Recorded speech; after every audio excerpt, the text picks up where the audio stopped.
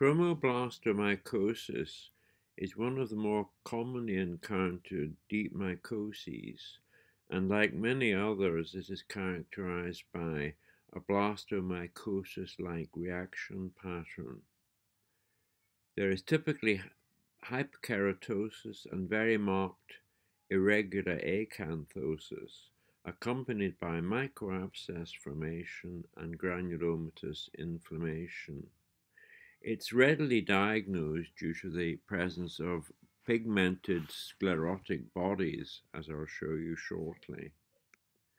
This is a higher power view of the same case in which on the left you can see abscess formation with scattered giant cells and on the right there is a well-formed granuloma with multinucleate giant cells.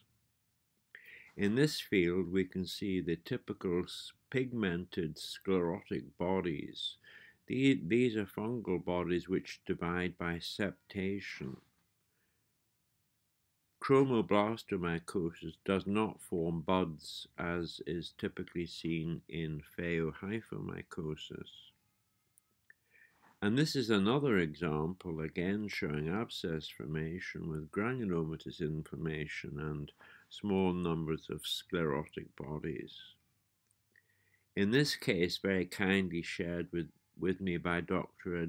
Eduardo Calonje from the Institute of Dermatology, the eh, infiltrate is much more granulomatous and was not really seeing suppuration at all. But on the right, again, you can see the typical sclerotic bodies. Now, chromoblastomycosis is classified along with the other pigmented um, fungal infections and they're sometimes known as dematiaceous fungi. And all this really means is that they're pigmented. And chromoblastomycosis typically divides by internal septation.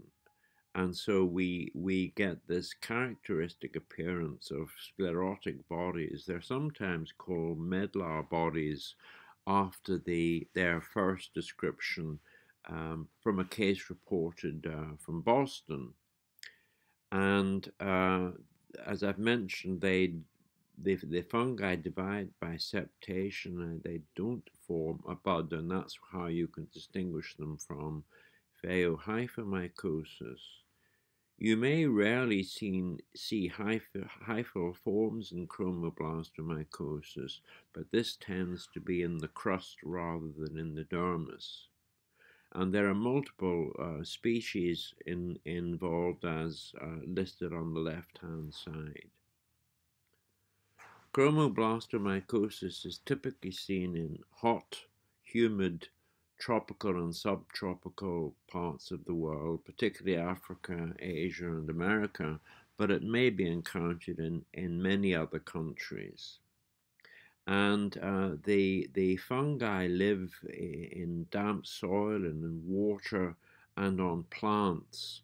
And uh, what happens is the, the, uh, the patient will have become infected by perhaps from a thorn or from a twig from a from a plant.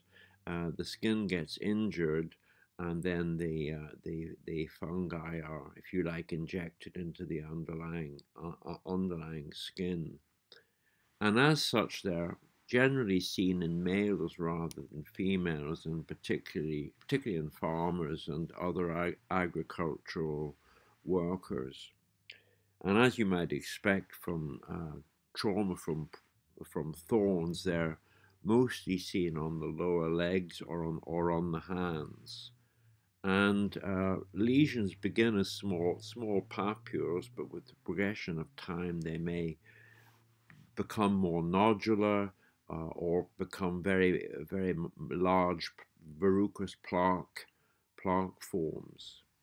And sometimes due to scratching, you may see satellite lesions, or you can even encounter lymphatic spread.